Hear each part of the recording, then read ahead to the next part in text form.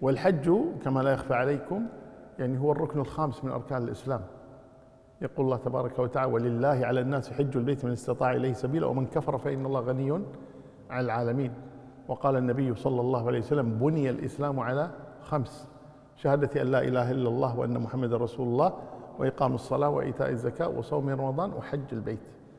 ولما سأل جبريل النبي صلى الله عليه وسلم عن الإسلام قال الإسلام أن تشهد أن لا إله إلا الله وأن محمد رسول الله وتقيم الصلاة وتؤتي وتصوم رمضان وتحج البيت. فالقصد أن الحج ركن من أركان الإسلام ونقصد به حجة الإسلام هي أول حجة يحجها الإنسان حالة بلوغه.